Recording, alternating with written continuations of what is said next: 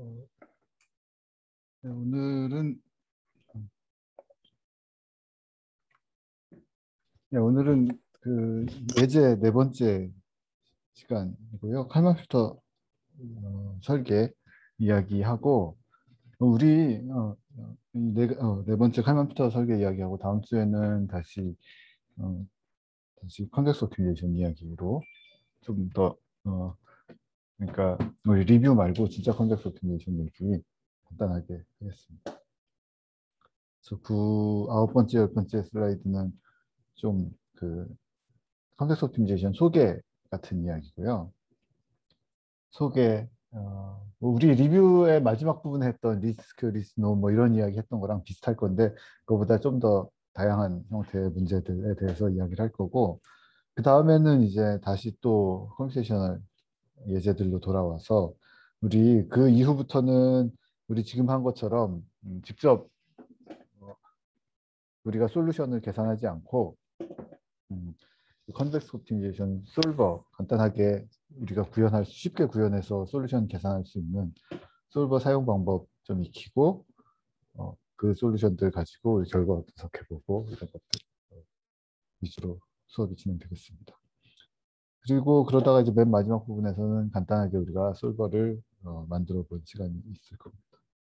우리가 그걸 만들어 봐야 어, 어, 어, 어 이제 왜 만들어 보냐면 음, convex optimization solver 우리가 사용하게 될 그 solver들이 못 풀어주는 문제들도 우리가 다뤄야 되는 경우가 많거든요. 문제 사이즈, 사이즈가 너무 커서 걔네들이 못 다룬다든지 아니면 우리가 풀려고 하는 문제가 완전 컨벡스한 형태가 아니라서 어, 우리가 좀 그 넌 컨벡스한 부분을 우리가 처리를 해줘야 된다든지 이런 어, 문제들을 다룰 필요들이 있기 때문에 마지막 부분에서는 어, 우리가 솔버를 좀 만들어 보고 이런 시간을 가지도록 하겠습니다.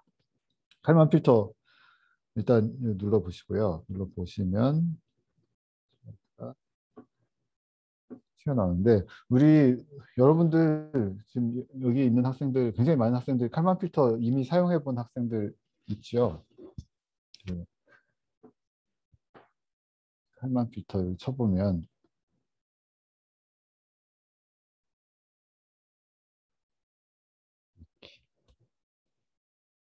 칼만 필터란 어떤 것이고 뭐 많이 해본 설계 해본 분들도 있을 테고 이런데 보통 우리가 칼만 필터에 이렇게 선형 시스템에 대해서 process에서 noise가 들어가고 measurement에 noise가 들어가서 지금 여기 적힌 것처럼 어, 상태 estimate하고 상태 추정치하고 그 추정치의 정확도 covariance matrix 두 개를 끌고 다니면서 prediction step, update step 이걸 계속 반복하는 거죠. prediction step에서 어, 상태 estimate 어, 진행시키고 그다음에 covariance도 진행시키니까 그러니까 업데이트하고 어, 업데이트 한다기보다 뒤 update step이 있으니까 그러니까 요 두 개 두 개 우리 상, 상태 변수와 covariance를 그 동력학 모델 가지고 prediction 어, prediction 한다는 것은 어, 뭐라고 하죠? 그, 어, 그러니까 한 스텝 후에 값을 예측하는 이제 그런 스텝이 있고 그다음에 이제 update step은 이제 measurement가 들어가서 측정치가 들어가서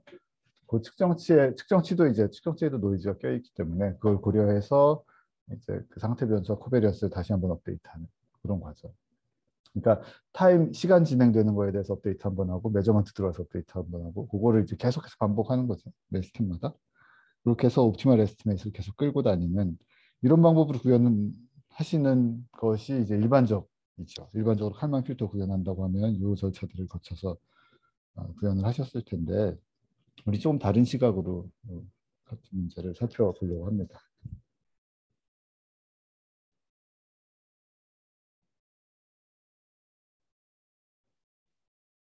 문제 셋업은 뭐 동일하고요. 여기에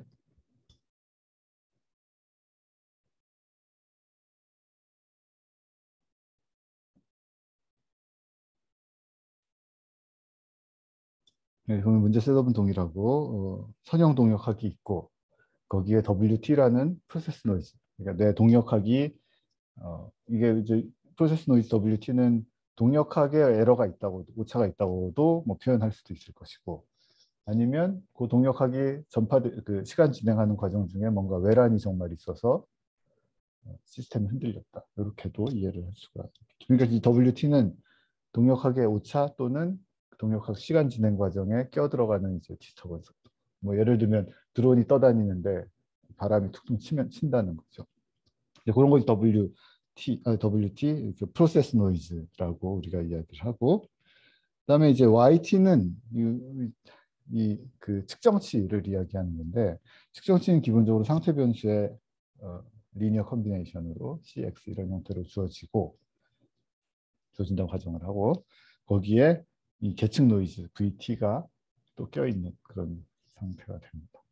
이런 역학에 대해서 역학과 이런 역학 그러니까 불확실한 역학과 또 불확실성이 껴있는 계측 요 조합을 가지고서 이런 시스템을 우리가 이야기를 할 텐데 요거 이제 n 샘플 과거 n 샘플을 쭉 그 진행을 해온 거고 역학이 역학과 measurement가 있고 어, 우리가 주어져 있는 거 우리한테 주어져 있는 거는 이 YT 계측치밖에 없는 거예요. 센서 계측치밖에.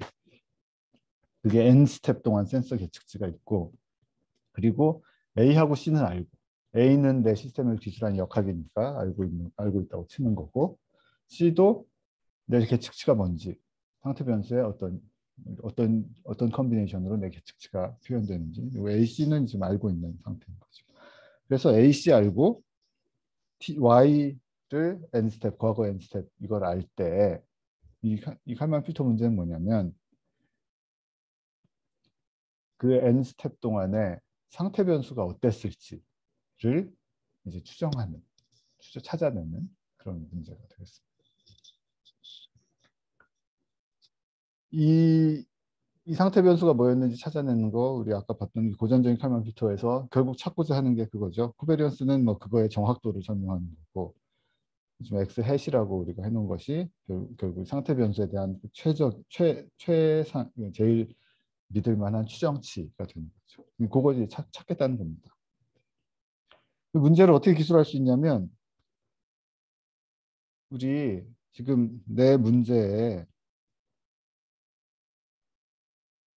문제에 그 이제 decision variable이 x 상태 변수와 그리고 w history 그러니까 상태 변수 history 그다음에 두 개의 노이즈 껴들어간 있죠. process 노이즈하고 measurement 노이즈. 그 두 개의 history 전부 다를 내가 그걸로 가져갈 거예요.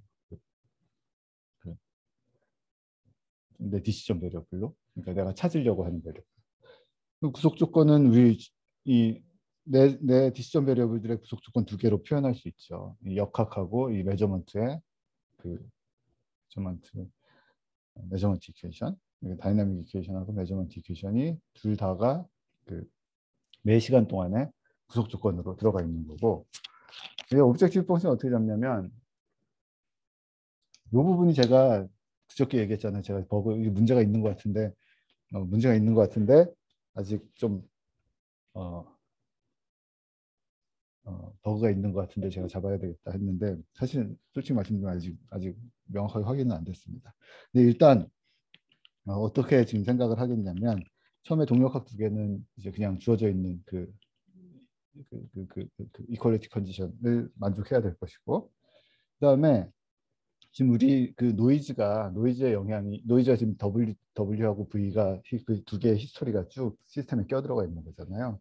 근데 그 노이즈가 어, 이 시스템에 지배적인 영향을 주진 않았고 크지 않게 영향을 줬을 것이다 라는 가정을 하고서 이 구속 조건이 만족하는 상황에서 이 구속 조건을 만족시키는 솔루션이 굉장히 많죠. 그 V하고 WT를 섞어줄 수도 있을 것이고 서로 이제 V하고 WT는 사실은 약간 그 명확하게 구분되지 않는 두 개가 섞여 있기 때문에 지금 문제가 더 복잡해지는 이제 그런 상태가 되는데 거기에 WT가 어떻게 섞여 있을 거라고 어, 그 가정을 하냐면 W도 크지 않고 V도 크지 않고 근데 W하고 V는 근데 크기에 상, 어, 상대적으로 크기는 다를 수가 있고 이런 거죠.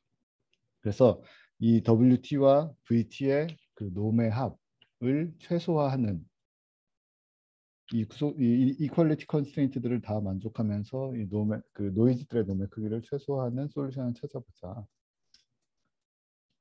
이 문제가 사실은 이 정확한 칼만 필터의 구성은 아니고 칼만 필터를 단순화한 구성입니다. 사실은 이 오브젝티브 펑션 WT 어, 문제를 다시 한번 써보겠습니다. 여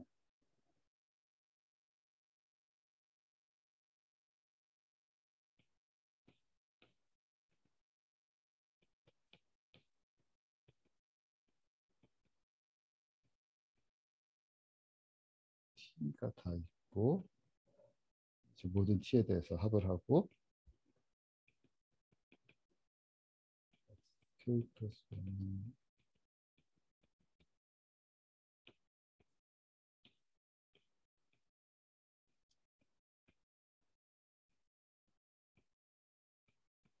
요 오른 이런 문제를 어, 기술했죠.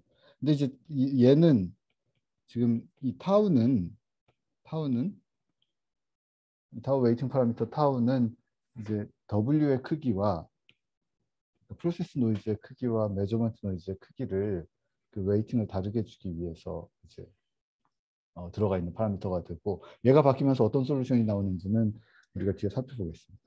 우리 칼만 필터 설계할 때는 어, 이, 이 요놈의 covariance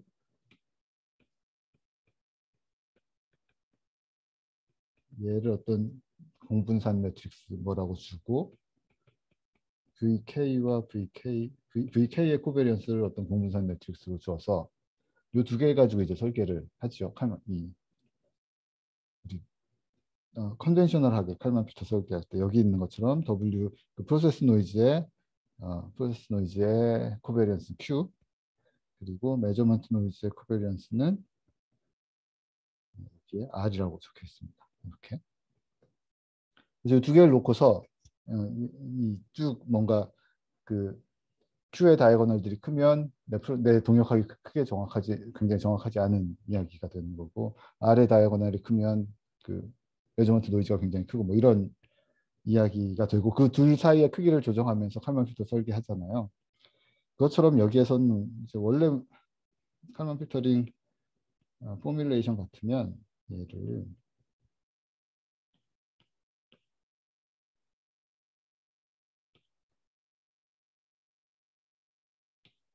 WT의 얘는 WT의 transpose WT 이렇게 쓸 수 있잖아요. 여기 다시 얘기하면 WT에다가 identity를 곱하고 WT 이런 식으로 한 거나 마찬가지라고 볼 수 있겠습니다. 그래서 이 WT의 각각의 component의 다른 그 어, WT의 각각의 component가 서로 다른 어, 크기의 노이즈 covariance를 가지고 노이즈 variance를 갖고 있다고 하면 얘를 그냥 W 이렇게 쓸 게 아니라 W transpose T의 Q의 inverse WT 이런 식으로 표현을 해주는 게 이제 W의 각각의 component들에 대한 노이즈, 노이즈 variance의 크기를 반영을 해서 칼만 필터 설계하는 그런 문제라고 할 수 있죠. 여기도 마찬가지입니다. 그래서 실상은 이게 아니라 WK transpose Q의 inverse WK 더하기 아 이렇게 적힌 게 여러분들 칼만 필터 교과서 옛날 교과서에 보면 칼만 필터 문제는 결국 이 문제를 푸는 해결하는 솔, 그 optimal 어, state trajectory를 찾는 문제다 많이 보셨을 겁니다. 여기 사실 하나 더 들어가 있는데 그건 일단 그건 이제 일단 제껴놓고. 어 근데 이제 여기에서 제가 이 위에 위처럼 단순화시킨 건 뭐냐면 뭐 예를 들어서 Q가 Q가 그냥 아이덴티티고 R의 인버스가 그냥 그러니까 R이 제곱 분의 1 아이덴티티 이렇게 단순화된 상황을 위해서 그냥 풀고 있는 거죠. 그래서 어, 다시 돌아가 보면 이런 문제를 우리 기술을 할 건데 보면 얘도 잘 살펴보면 우리 지금까지 봤던 문제로 변형시켜서 볼 수가 있습니다. 이제 그 얘기를 지금 할 거고 하고요. 음. 우리 A, B, C, D 지금 어떤 역학 가져올 거냐면 우리 지금까지 했던 똑같은 역학. 그 질점이 끌, 막 끌려다니는 거 있잖아요. 거기에서 이제 B 매트릭스 인풋은 지금 없으니 B 매트릭스 없고 C는 이렇게 그 지금 이, 이 상태 변수 4개는 위치 2개, 속도 2개였던 거고 우리 지금 계속 하고 있는 거죠. 위치 2개, 속도 2개고 이제 계측은 그거 그냥 위치 2개만 계측하는 거예요. 위치 2개에 노이즈가 낀걸 계측을 한다. 걔를 그대로 지금 200 스텝 동안 100초 그러니까 1초 한 스텝이 0.5초씩 되게 뭐 예, 그 시스템을 정의를 하겠습니다. 그래서 A, C 매트릭스 똑같이 우리 지금까지 했던 거랑 같고 여기에 어, 지금 트레젝토리를 하나 어, 만들 텐데 50초 동안. 이 아니네. 이게 제가 잘못 썼네요. 100초 동안.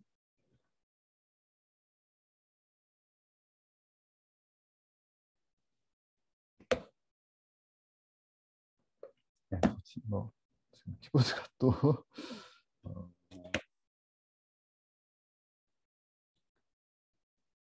또 그래서요.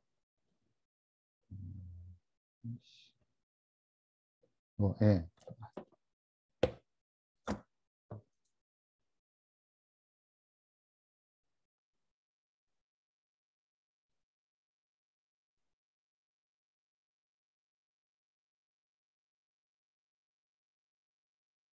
초 이러면 똑같죠? 100초에 델타 T 0.5초 지금 이 문제를 풀었습니다.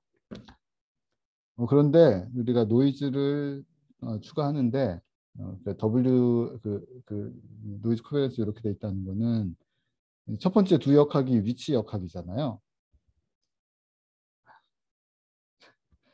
자꾸 화면이 혼란스러워서 죄송합니다. 지금 A 매트릭스 첫 번째 두 역학은 위치에 대한 역학이고 밑에 두 역학은 속도에 대한 역학이고 그렇죠. 그래서 위치에다가는 좀 작은 어, 그 disturbance가 들어가 있다. 그리고 속도에다가는 그보다 좀 더 큰 disturbance가 들어가 있고 그다음에 계측 노이즈는 그보다 더 크다. 이 정도로 가정을 하고 어, 노이즈 노이즈가 낀 trajectory를 만들어 보겠습니다.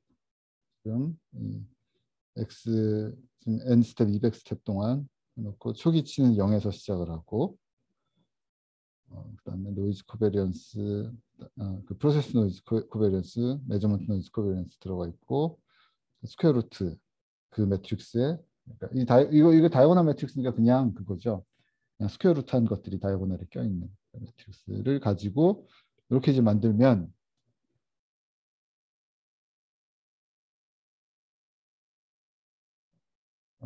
예, 이렇게 만들면 맞죠? 이러면 W의 예, 아, W는 지금 Q 정해져 있는 Q의 covariance를 가지는 노이즈가 만들어지고 V에도 만들어지고 그 다음에 이제 n 스텝 동안 적분하는 겁니다.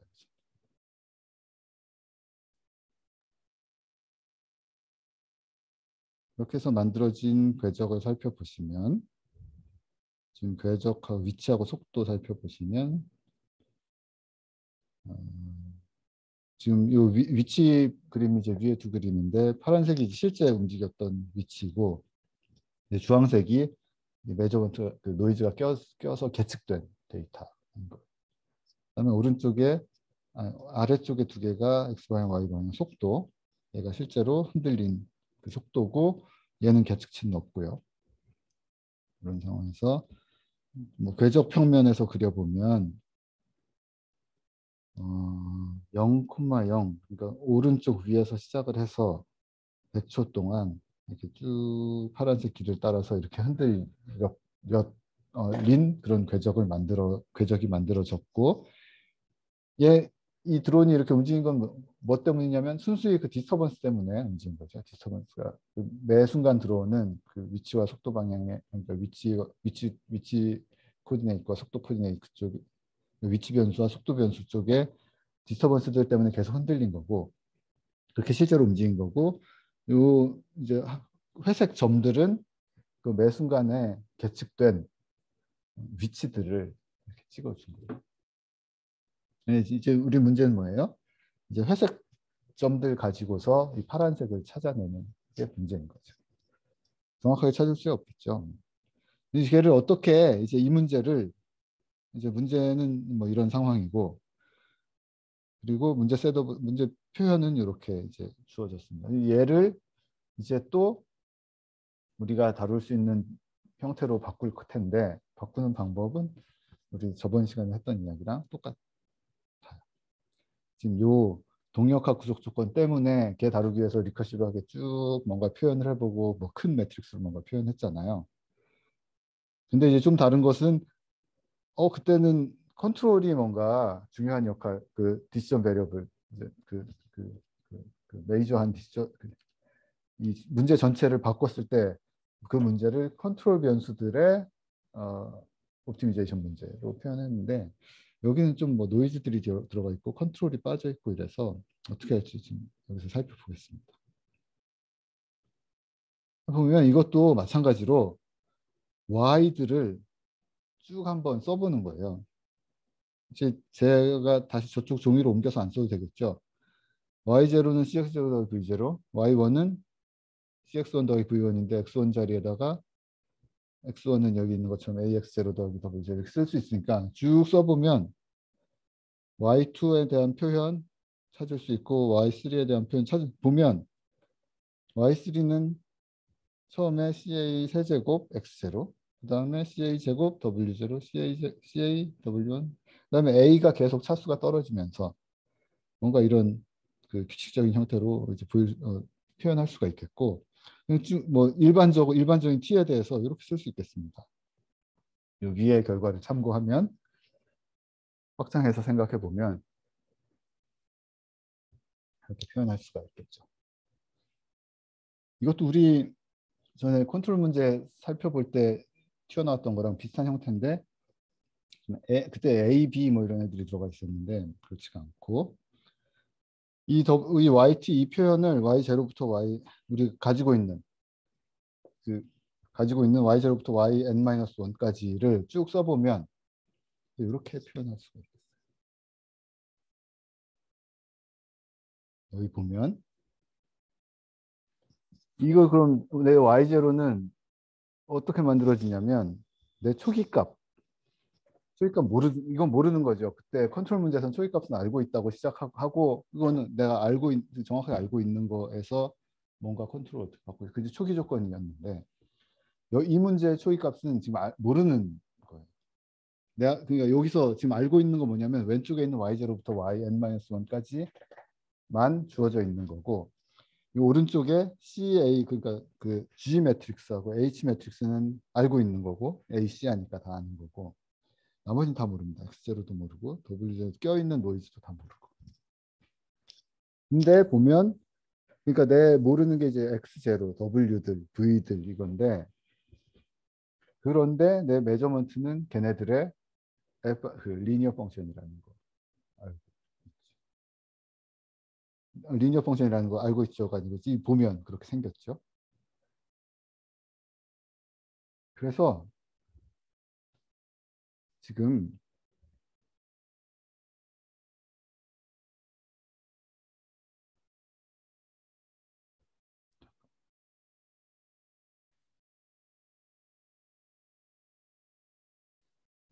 피하면 그렇나?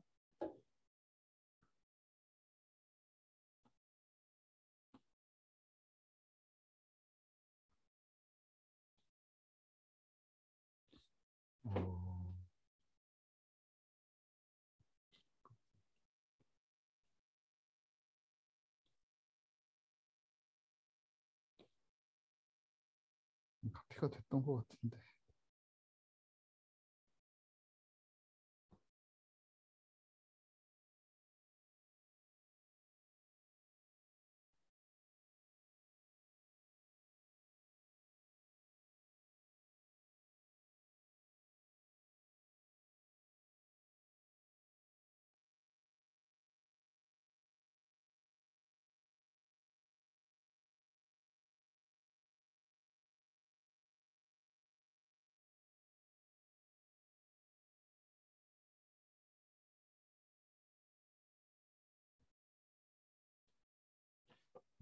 맞아.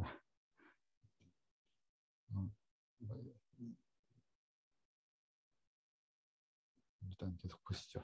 어, 보면 일단 요 표현에서 표현에서 봅시다.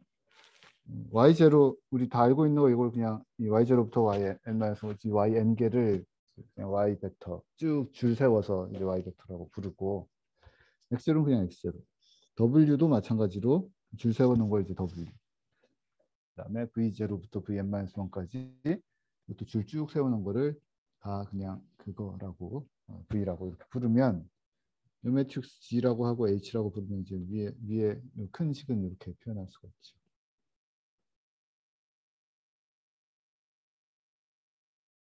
그러면 여기서 일단 음? 여기서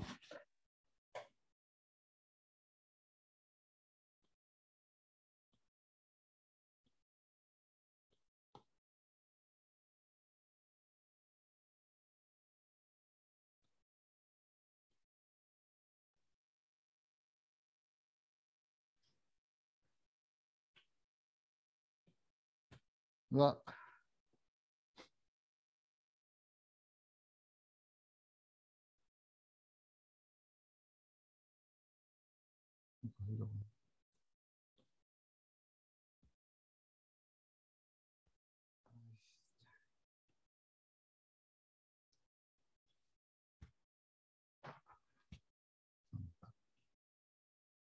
어, 지 금 제가 카피 해놓고 가서 써가면서 봤으면 좋았을 텐데 어, 일단 여기서 W 없다고 한번 생각해 봅시다. W 없다고. 그러니까 매 순간 매저먼트 노이즈만 있고 동력학은 그냥 정확하게 알고 있다. 라고 생각합니다. 그럼 얘 G, 아니, HW 이 부분 다 날라가죠. Y는 G0 더하기 V.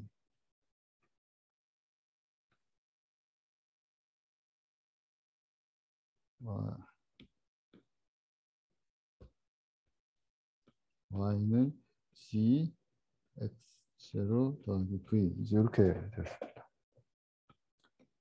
그러면 이거 다시 쭉 써보면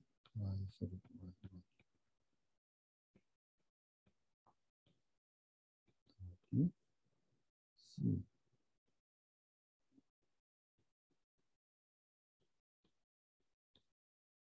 맞죠? 네.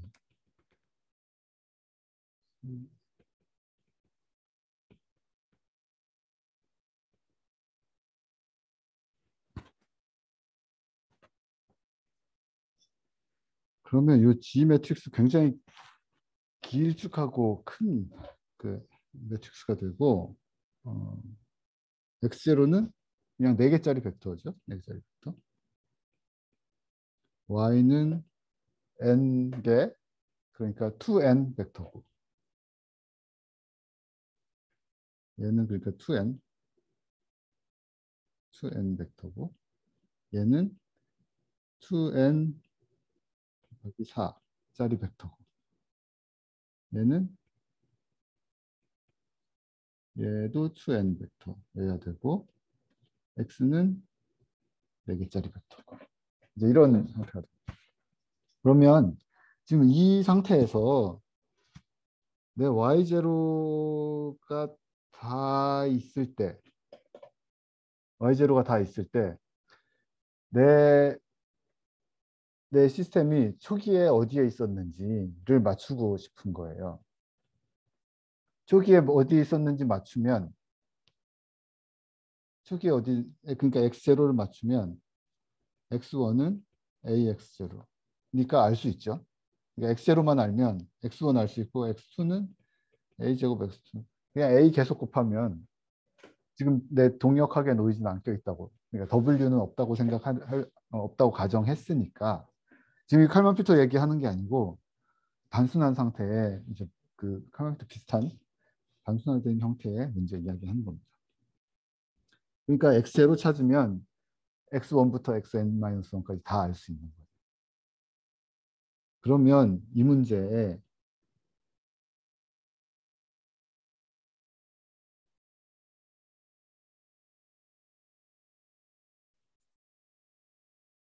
y들이 주어져 있을 때 x들 x 제로를 찾는 문제. 이거는 그냥 y 빼기 g x 제로. 이 문제 풀어버리면 되죠. 이 y들이 어떤 노이즈가 끼어 들어가서 뭔가 어, 그 이게 이게 우리 맨 처음에 least square 문제 이야기할 때 다뤘던 거잖아요. 뭐 자로 펜 뭐 볼펜의 길이를 재는데 계속 잴 때마다 다른 값이 노이즈가 껴서 다른 다른 값이 들어가 있을 수 있고 그때 어 그게 이제 노이즈 계측한 매트릭스가 뭐 A 매트릭스 이렇다고 보면 그 이제 문제가 y 빼기 ax 이거를 이제 minimize 하는 문제로 해결하려고 했던 것이고 이, 이 경우도 마찬가지로 그 V 노이즈만 껴가지고 계측 노이즈만 껴가지고 어, 이 시스템이 전파된 그러니까 계측치가 어, 나에게 전달된 그런 문제 상황에서 이제 계측치 y를 가지고 상태 변수 x를 찾는 문제는 결국에 계측치 y를 가지고 사, 초기의 상태 변수 x0를 찾는 문제로 이렇게 딱 줄여버릴 수가 있는. 그러면 이 문제는 언제 풀 수 있나요? 이 문제는 언제 풀 수 있냐면 G가 이미 tall 이렇게 길쭉하게 되어 있고 이 문제 언제 풀 수 있냐면 G의 column들이 linearly independent 하면 유니크한 솔루션이 정해지죠. 그렇지 않으면 솔루션이 되게 많고 그럼 G는 어떻게 생겼냐? 이렇게 생겼죠. G는 그러면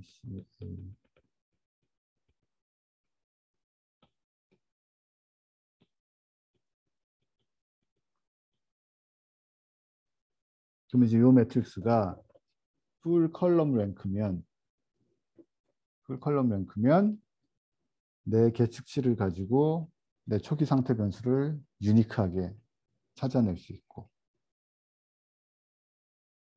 초기 상태 변수 값을 유니크하게 찾았으면 그거 가지고 이후의 상태 변수도 알게 되는 거죠. 그럼 이 조건을 뭐라고 하냐면 이 시스템이 이 C와 A가 이렇게 쭉 쌓았을 때 얘네들이 full column rank가 된다는 것은 이 시스템이 observable 하다고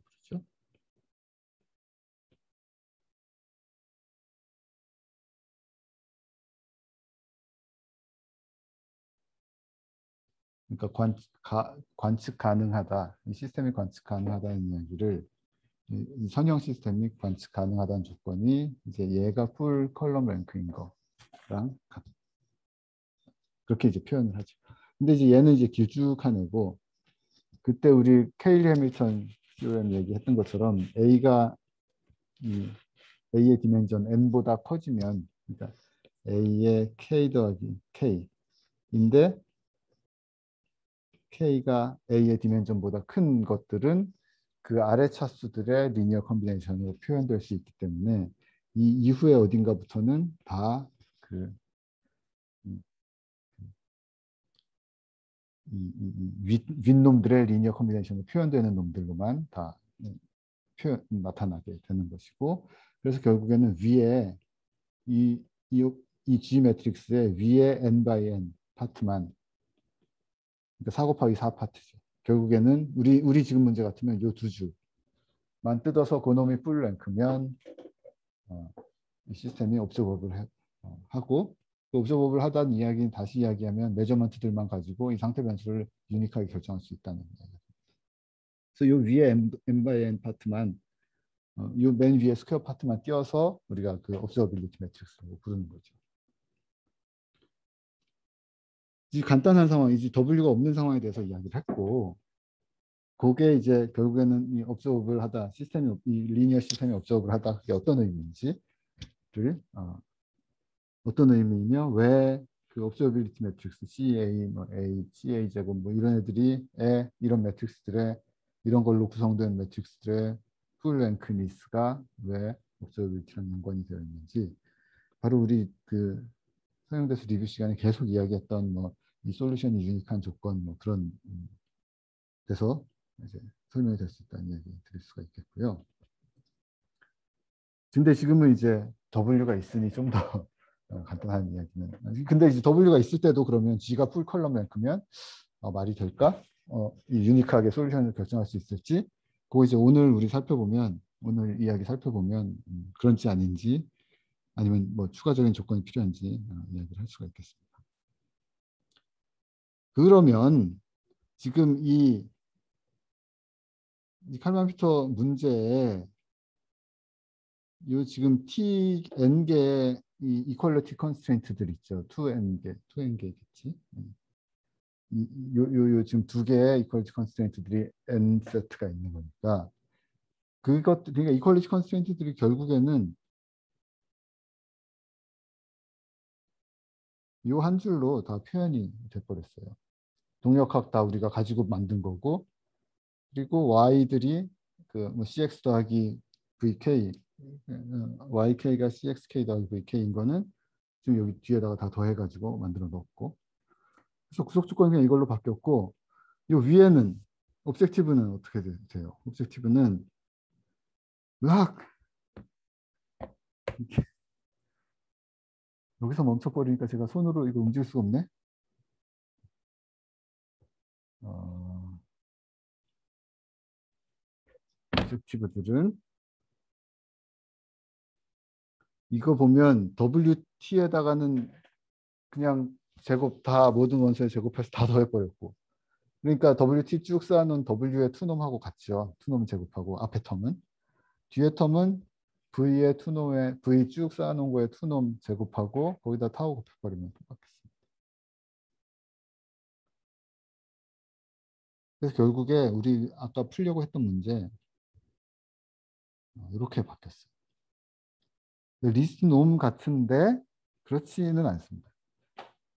least, 위에는 objective는 norm이고 그 다음에 constraint는 어, linear equation이라서 least norm같이 생겼지만 그렇지 않아요. 왜냐하면 위에 objective에 g x0에 대한 이야기가 없기 때문에. 그러니까 위에는 어, 내 상태 내 내 내 decision variable들의 two norm만으로는 표현할 수가 없는 거죠. decision variable의 two norm은 아니고 decision variable의 어떤 linear combination의 되겠습니다.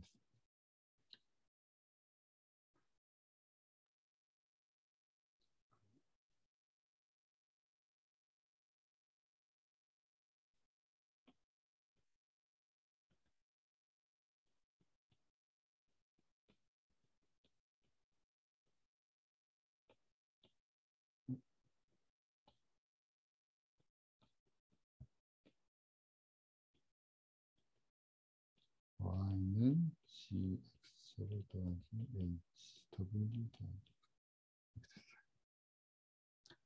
그러면 이제는 내, 내 디시전 베어블들이 x는 다 없어졌고 이제 x 제로하고 w들하고 v들 얘네들만 네, 그 디시전 베어블이 되겠습니다.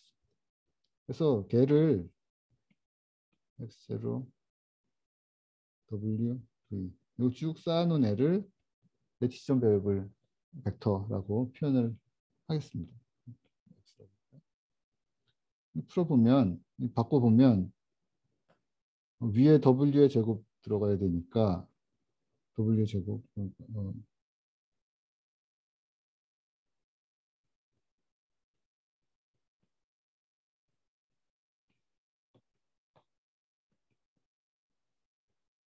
이렇게 쓰면 윗줄에 W의 two norm 제곱 표현되죠. 아래쪽에는 이렇게 써놓으면 아래쪽에는 이 놈 제곱 안에 square root 타우 V가 들어가는 거고 요 놈의 two norm이 되는 거니까 이렇게 표현해 버리면 그냥 위에 게 그대로 표현되는 거죠. 부속 조건은 y는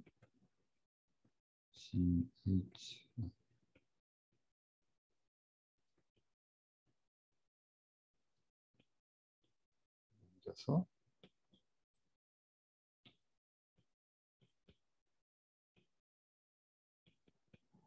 이렇게 쓸 수 있죠. 그리고 이제 디시전 밸브 G라고 이렇게 부르기로 하면 얘를 이제 뭐 A, 얘를 C, 얘를 D 이렇게 부르면 그리고 B b tilde는 0이라고 놓으면 그럼 이거 뭐랑 같냐면? Ag 빼기 b의 제곱을 미니마이즈하고 부속 조건은 c tilde g는 1가 아니고 d 그러면 이거는 우리 어떻게 푸는지 알잖아요. 그 constraint least square 문제니까 어떻게 풀었죠? 음, transpose activity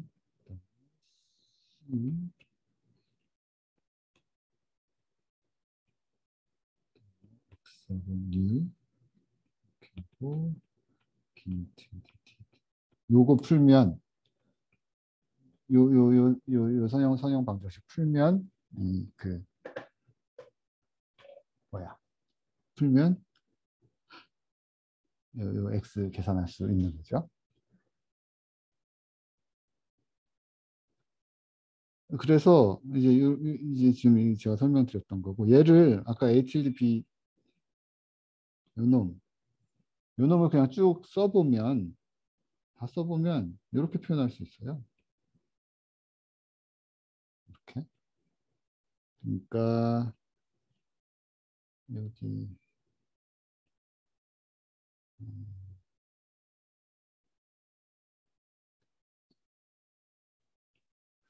아, 이게 왜 복사가 안 돼가지고 쓰면 G H I C I 여기다가 X0 W V new 영영 그리고 음,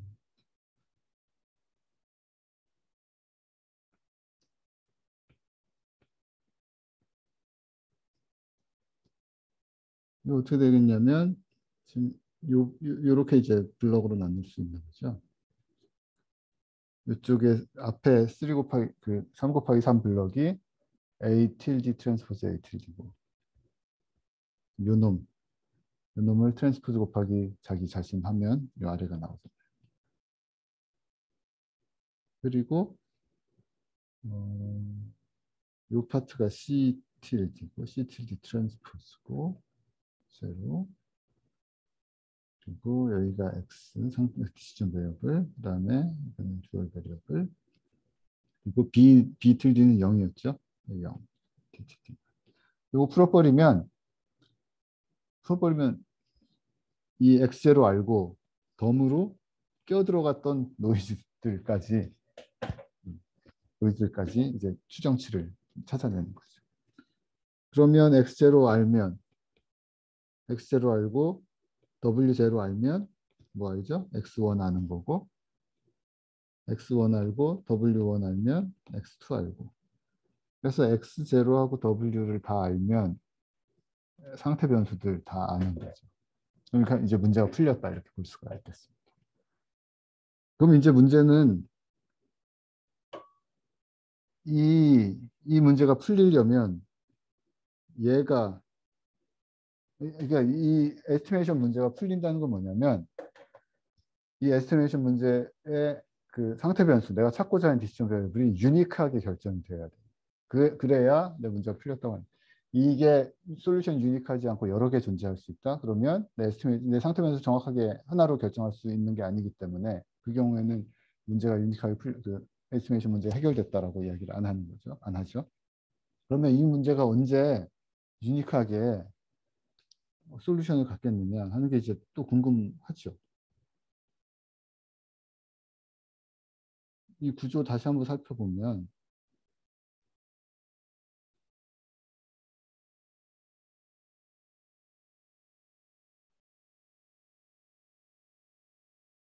이 매트릭스가 지금 4 곱하기 4 블록 매트릭스가 컬럼이건 로던 이제 뭐 이제 square matrix죠 얘네는 그 대칭의 square matrix고 이, 이 matrix가 invertible 하면 이 solution이 unique하게 결정되는 거잖아요.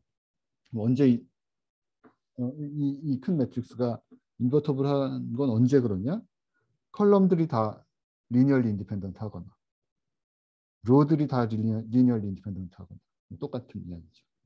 column들이 linearly independent 하냐?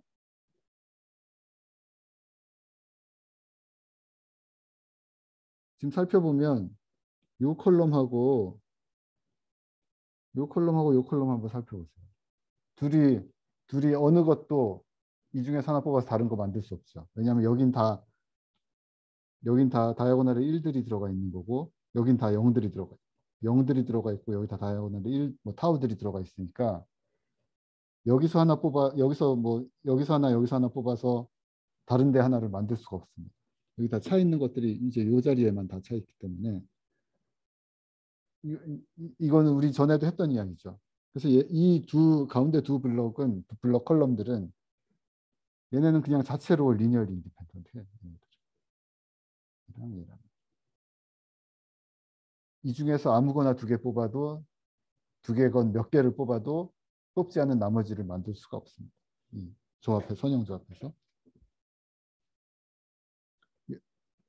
요 오른쪽 두 column 살펴보면 오른쪽 두 column 살펴보면 마찬가지로 여기다 identity 들어있고 여기다 identity 들어있어서 얘 오른쪽 두 컬럼 오른쪽 두 블럭 column도 이 자체로 그냥 linear independent.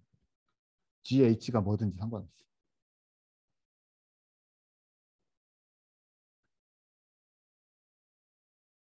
그리고 이제 이제 이요세 컬럼은 리니얼 인디펜던트하다는 거 알고 있고 이쪽은 다 이제 남은 건 유자 유자인데 다 엮여 있고 이 밑에만 G가 이렇게 들어있습니다. G가 사실은 이렇게 길쭉한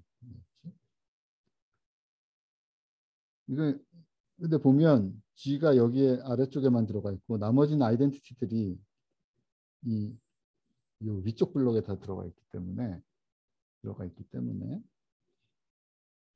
위쪽 블록에 들어가 있기 때문에 첫째 블록하고 나머지 세 블록도 만약에 G의 column들이 linear인데 G가 그 full column rank면 나머지 세 블록 오른쪽 세 블록하고도 linear independent하게 돼요. 여기는 identity들이 다 들어있고 여기는 다 0이 들어있기 때문에 그래서 이, 이 소, 이거는 언제 unique한 solution 가지냐면 G가 그냥 어, 어, G가 linearly independent한 column들을 가지면 이 문제는 unique한 solution을 그냥 가집니다. 그럼 G가 언제 full column rank를 가지냐? 아까 이야기한 거죠. 이 결국 시스템이 observable 하면 이 W, process noise W가 껴있다 하더라도 내 상태 변수들을 unique하게 결정할 수 있다. 시스템이 observable 하다. 그러니까 아까 우리 시작하기 전에 살펴봤던 이야기는 process noise 없는 경우에 간단하게 뭐 이 문제 가지고 square 문제로 이 시스템 observability가 어떤 의미인지 살펴볼 수 있었는데 그게 process noise가 껴있더라도 똑같이 성립하는 이야기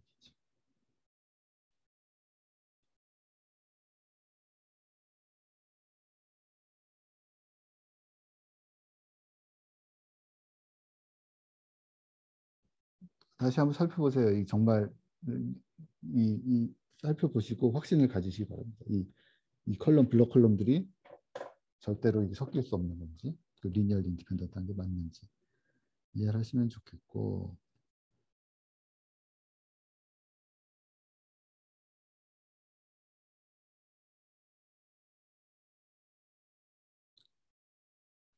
어, 그리고요, 그, 그, 예, 그, 이제 언제 풀 수 있느냐? 다, 이거 문제가 풀린다는 이야기 다시 이야기하면 언제 모호성 없이 X0를 결정할 수, X0를 정확하게 딱 결정할 수 있느냐.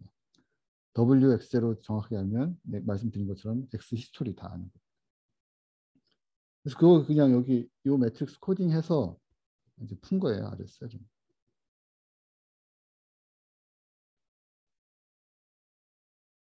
G matrix 만들고 그다음에 H matrix 우리 뭐 만들고 그다음에 A tilde, B tilde, C tilde 뭐지 다 만들고 그다음에 이거 그 optimality condition 구현해서 얘를 그냥 마, 마지막에 푼 거죠. 풀어서 x0 알고 x0 x에 찾아냈고 x0의 head 그다음에 w의 추정치, v의 추정치 다 뽑아냈습니다. 처음에 4개는 x 그러니까 솔루션에서 처음 4개는 x0 그 다음에 4n개는 w 그 다음에 2n개는 v들이 되는 거죠. 걔를 가지고 그 계산한 거 가지고 x0부터 w 가지고 계속 프로퍼게이션 해가지고 궤적을 찾아내는 거죠. 찾은 결과가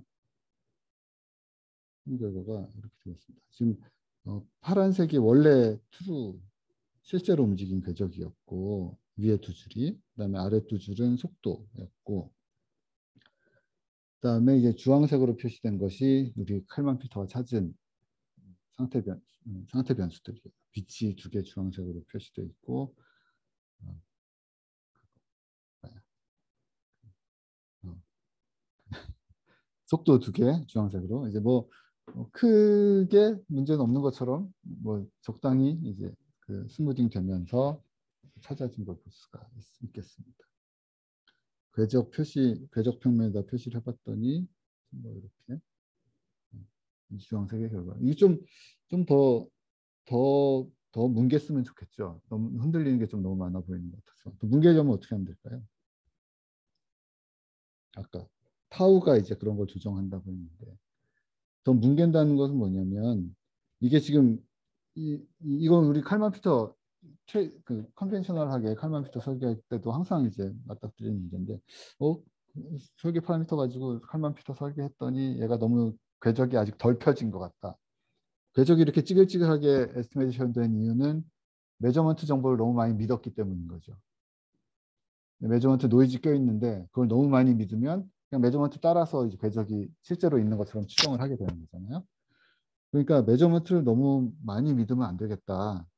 지금 이 결과가 measurement 너무 많이 믿은 것 같으니까. measurement 많이 믿었다는 것은 다시 얘기하면 V가 너무 작다고 생각을 한 거죠.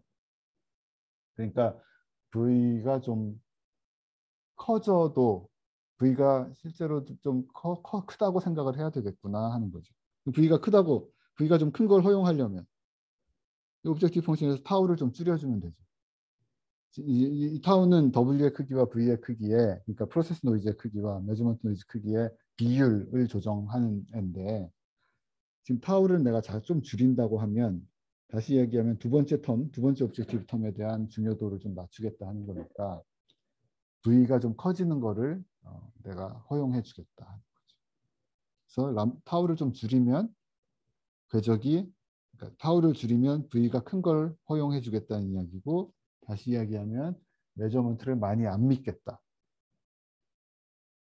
그래서 그 노이즈 따라 흔들리는 게 좀 줄어들겠네 생각할 수 있겠죠.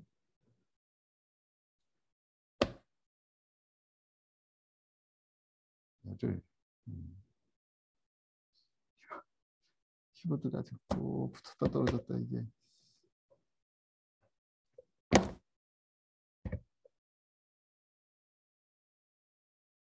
키보드가 왜 이럴까요? 어?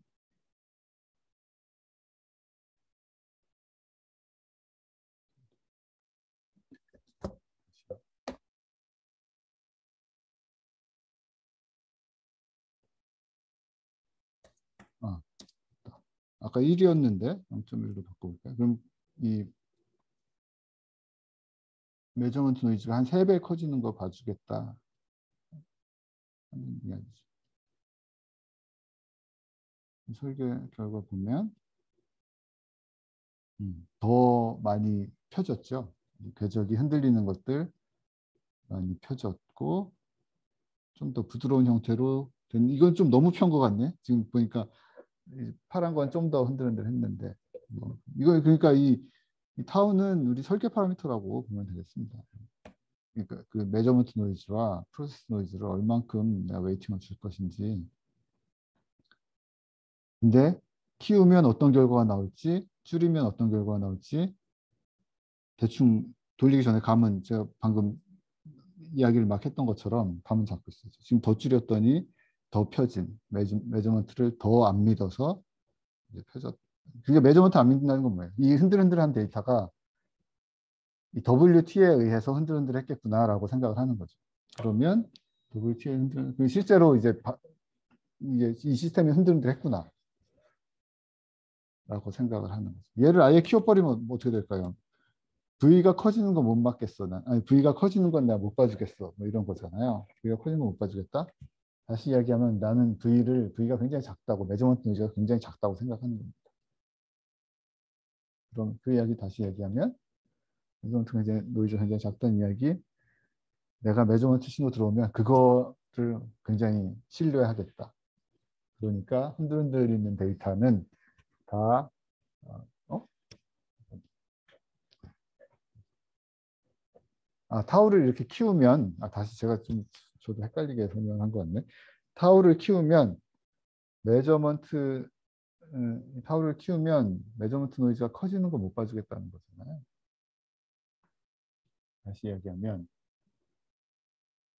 measurement noise는 굉장히 작다고 생각하는 거다. 그렇지? 그러면 measurement noise는 굉장히 신뢰할 만하다. measurement noise가 실제로 들어오면 그걸 그대로 믿어서 실제 궤적이 그렇게 흔들려서 갔을 거라고 생각을 한다. 아까 제가 process noise 이야기를 이 타우를 작을 때 process noise 이야기는 거꾸로 이야기한 거 아니에요? 그러니까 measurement 지금 타우를 키우면 measurement noise는 작다고 생각하는 거고 흔들흔들한 게 다 process noise에서 온 거라고 생각하는 거. 아까 타우를 작으면 타우가 작으면 좀 아까 해본 게 타우를 줄인 거였잖아요. 그러면 measurement noise를 크게 허용을 할 거고 그 이야기는 내가 measurement noise를 안 믿으려고 한다. 그래서 실제로 아 그러니까 measurement를 안 믿으려고 한다. 그래서 실제로 데이터가 막 흔들려서 들어오면 아 이거는 내 시스템이 진짜 흔들린 게 아니라 계측 노이즈 때문에 흔들린 거야 라고 생각을 하는 거죠. 그렇게 되니까 이제 내 optimal 추정치는 되게 부드러운 형태가 나옵니다. 네, 제가 아까 혹시 W를 잘못 설명한 게 있으면 이제 후에 설명한 걸로 이해해 주면 되겠습니다. 타우를 키우면 이거 어떻게 되겠죠? 그래서 다 흔들흔들한 noise가 를 실제 어, 실제 궤적이었다고 믿는다는 거죠. 궤적은 실제로 굉장히 흔들흔들한 뭔가가 나올 겁니다. 그렇죠. 지금 노이즈 흔들린 그, 그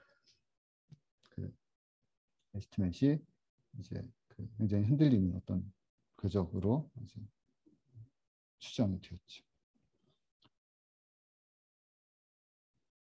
그런 의미라고 생각하시면 되겠고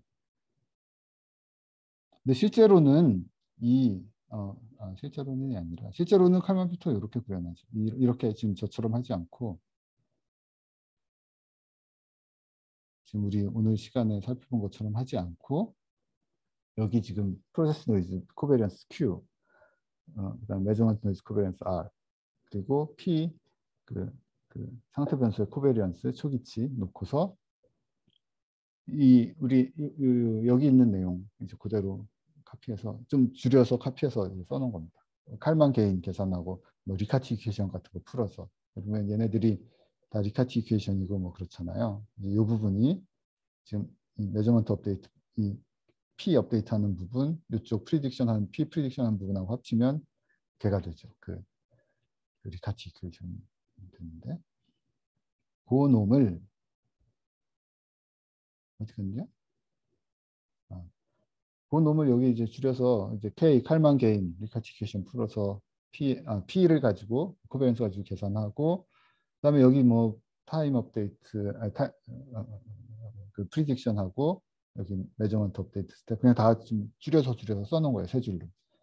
그래서 이 매 step마다 이 Kalman gain 계산하고 process 그 covariance update 해가지고 Kalman filter 구현하죠. 그대로 구현한 겁니다. 이거.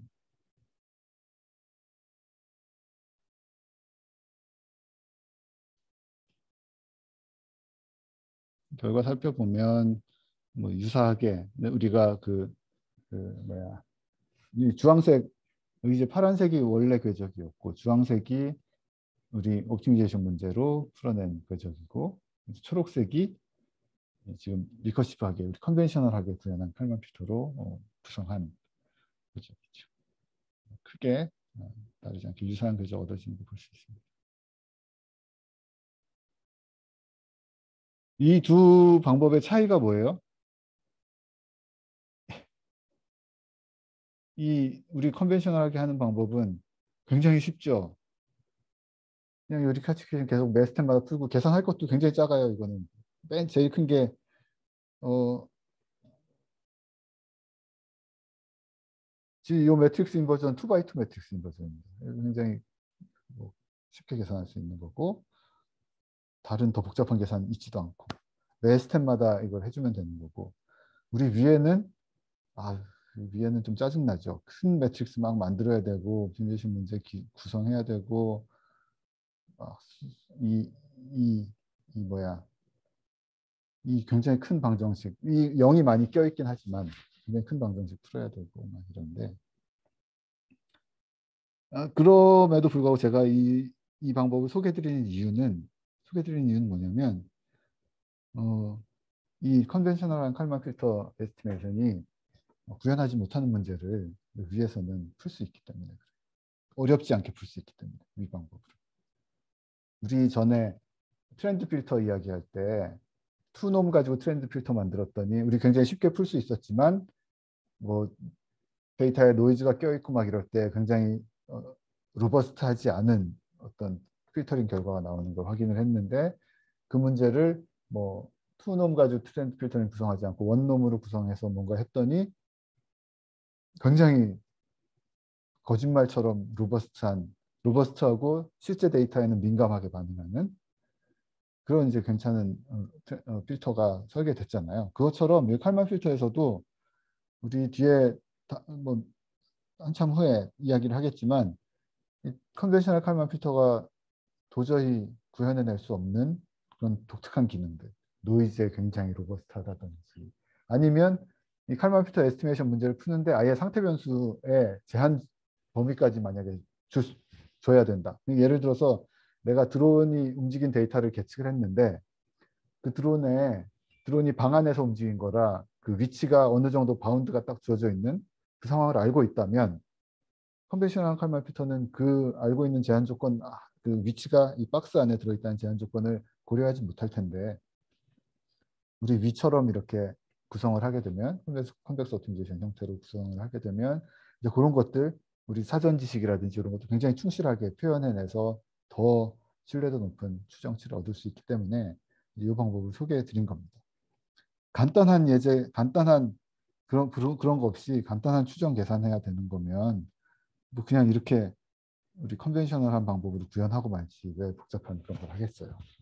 그래서 뭐 소개 개념으로 칼만 피터를 이런 식으로도 표현하고 문제를 풀 수 있고 근데 이 방법은 굉장히 나중에 이야기 다시 하겠지만 굉장히 확장성이 크다라는 걸 소개해 드리려고 얘기를 했습니다.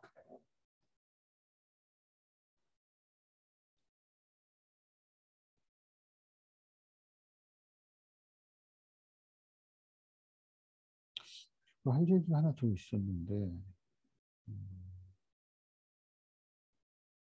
아 그리고 요거 요 방법은 뭐 알려주냐면 내 그러니까 이, 이 지금 두 방법이 다른 게 뭐냐면 가장 크게 다른 거는 아까 계산량 이야기했지만 어 가장 그것보다 그 이전에 가장 크게 다른 것은 이 두 번째 conventional한 방법은 매 스텝 들어올 때마다 계산해서 업데이트 하잖아요. 내 상태 변수를. 근데 이건 뭐죠? 이 문제는 미션 다 끝난 다음에 데이터 전부 다 통으로 받아서 이제 푼 거예요. 그게 어, 두 번째 같은 경우는 recursive하게 매 스텝마다 뭘 푼다고 해서 recursive한 estimation을 푼다고 이야기를 하고 얘는 얘는 모든 미션이 다 끝난 다음에 데이터 전부 다 받아와서 문제를 푼다고 그거라고 하죠. batch processing 한다고 하죠. 그래서 용도에 따라서 또 다르게 구현할 수 있어야 되겠죠. 매 순간마다 뭘 찾아내야 되면 그러니까 비행 중에 estimation 찾아내야 되면 첫 번째 방법은 하기 어려운 거고 그렇지만 비행이 다 끝난 다음에 모든 데이터를 다 받아서 굉장히 정확한 처리를 해야 된다거나 그럴 때는 위에 batch processing을 사용할 수 있습니다. 용도에 따라 다르겠습니다. 위성 운용할 때 위성 운용할 때 위성 궤도 몇 바퀴 돈 데이터 받아가지고 정확한 그 오비 파라미터들 찾을 때는 그때는 궤도 몇 바퀴 돈 동안 전체 데이터를 다 받아서 처리를 할 수 있기 때문에 근데 이제 batch processing에서 굉장히 정확한 값을 찾아내려고 하죠. 근데 위성 똑같은 위성이라도 컨트롤 용도로 사용하기 위해서 매 순간마다 상태 변수가 필요하다고 하면 지금 우리 방법 지금 첫 번째 소개한 방법으로는 할 수 없겠죠. 이제 뒷 방법으로 해야 될 거죠. 아 그리고 또 다시 이야기를 할 것이 어 우리 요거 이 칼만 필터 이야기하기 전에 이, 지금 우리 칼만 필터 이야기하면서 뭐 얘기했냐면 큰 optimization 문제 batch processing에서 푸는 거 하나 하고 그리고 recursive한 우리 conventional하게 구현하는 그런 것들 그 두 가지가 있다는 거 알려드렸고 그 차이 설명드렸습니다. 장점들, 단점들. 마찬가지로 우리 컨트롤 문제에도 똑같아요. 이 minimum energy control 이것도 이것도 우리 무슨 아 미니 어 minimum time control minimum energy control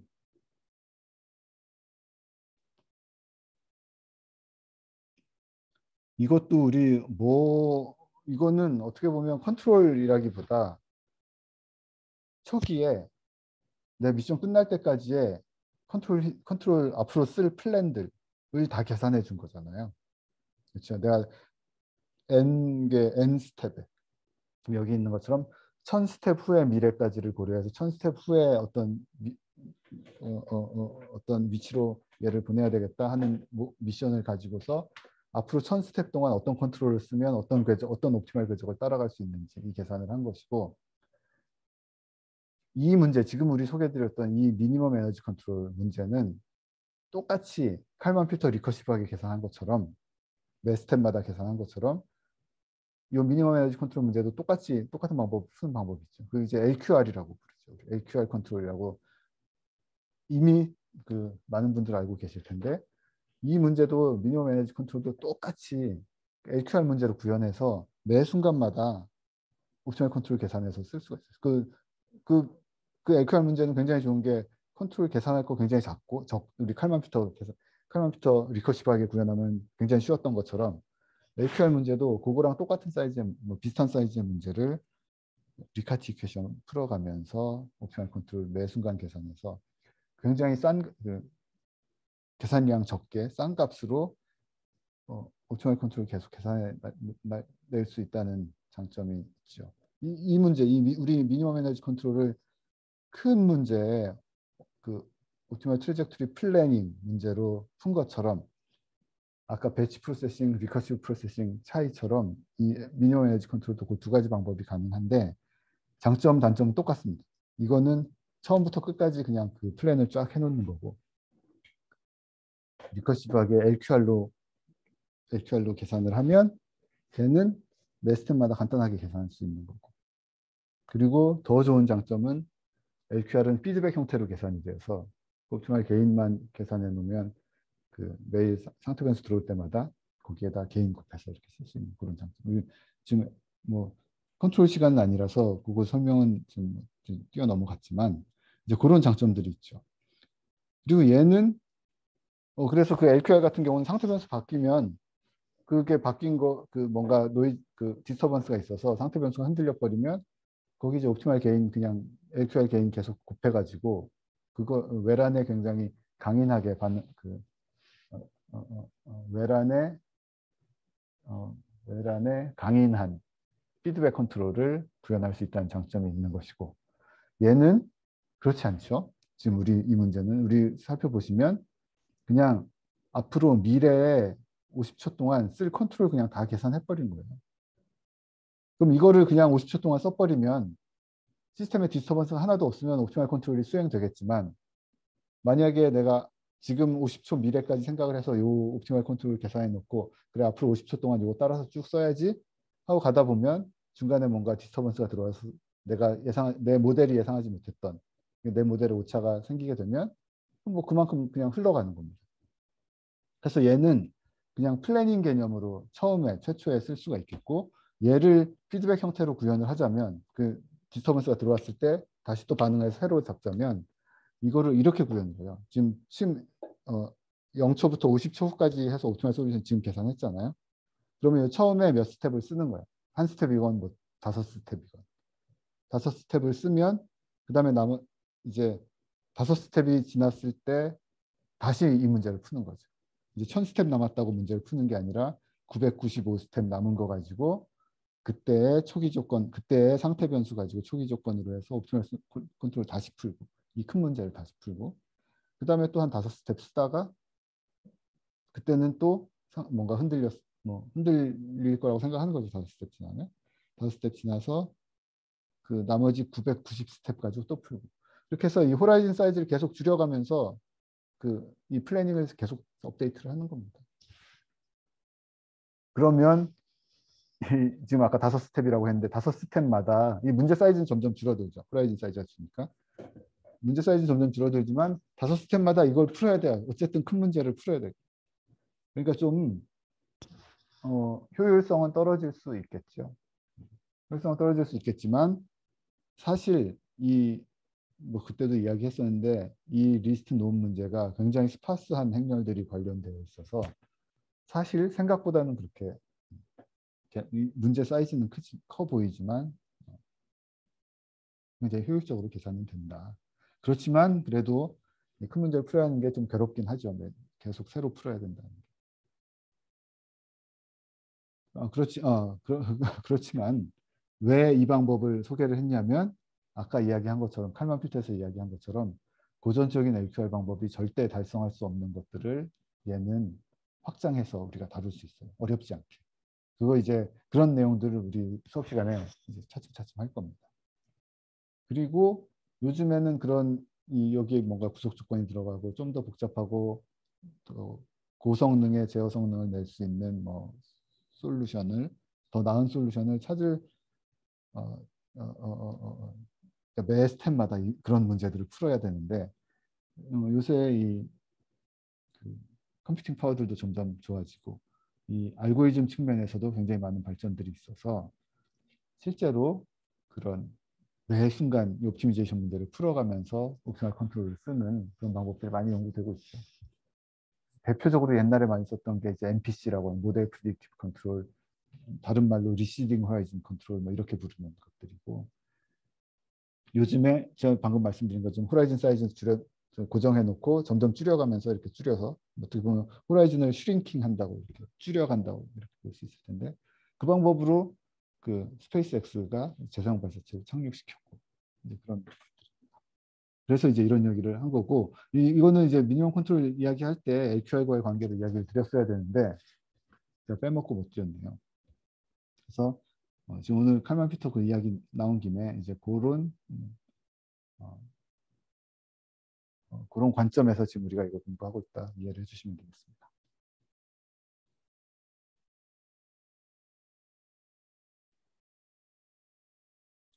이것도 마찬가지로 이 알메틱스 조정하면 이 궤적 펼 수 있죠. 뭐, 뭐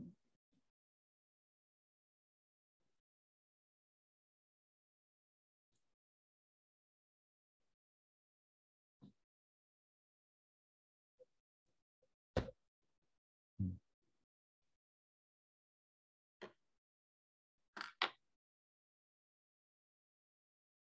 한번 해보려고 하는데.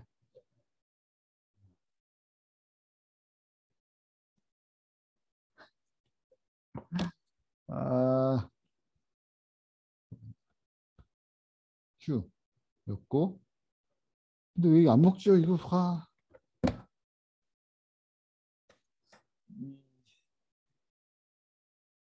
네, 한번 해보세요. Q랑 R이랑 바꿔가면서 적당히 스케일 해가면서. 오, 왜 이런 일이 생기는지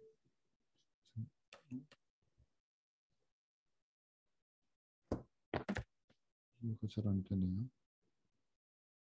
어, 이렇게 되면 됐나? 어, 왠지 모르겠습니다. 이거 지금 화면이 반응을 굉장히 늦게 하고 있는데. 네, 이 Q하고 R 바꿔가면서 이 카메라 설계도 한번 연습해 보시면 괜찮을 것 같습니다. 끝마치려니까. 여기 보면 이 녹색 그 recursive 칼만 필터 궤적이 굉장히 smooth하게 펴진 거 볼 수 있죠. 이제 R을 키웠으니까 다시 이야기해서 내가 measurement를 못 믿겠다 이렇게 했으니까 뭐 예상했던 결과대로 구현됐습니다. 네, 오늘 이 컴퓨터 이야기 여기서 컴퓨터 예제 하나 맞춰봤고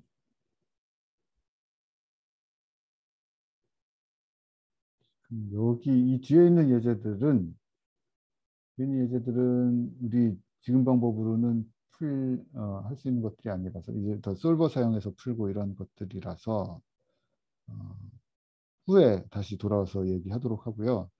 다음 시간에는 이 우리 least squares least norm constrained least squares 지금 세 가지나 optimization 문제 풀 어, 우리 어플리케이션 문제들을 그렇게 표현하고 해결하는 것들을 살펴봤는데 더 넓은 클래스에 대해서 일반적인 convex optimization 문제들 이야기하려고 convex function들은 우리 몇 가지만 살펴봤는데 뭐 어떤 것들이 있는지 그리고 convex optimization 문제는 어떤 어떤 형태들이 있는지. 우리 그 least norm, least square 이런 게 어떻게 확장이 되어서 일반적인 convex optimization 문제로 이야기할 수 있는지 그리고 그런 문제들은 어, 일단 solver 갔다가 음, 그런 문제, 어, 컨트롤, 어, 뭐, 컨트롤이건 어플리케이션 문제들을 그런 convex optimization 문제로 표현하고 그 다음에 그렇게 표현되었으면 이제 일단은 그냥 그 솔버에 집어넣어서 우리가 음, 해결할 수 있는 문제들을 좀 살펴보겠습니다. 네, 오늘은 여기 다음 주에 이렇게 진행하도록 하고요. 오늘은 여기에서 마치도록 하겠습니다.